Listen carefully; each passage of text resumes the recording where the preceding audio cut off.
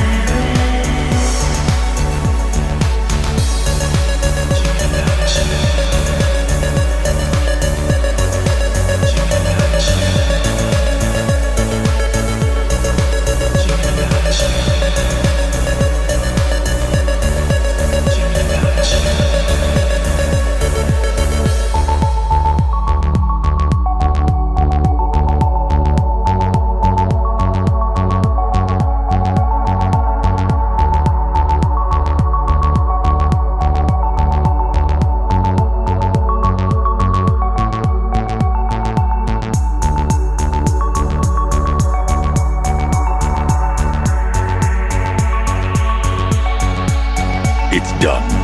Gotham is safe. Thank you, Bruce. For everything. Goodbye, Jim.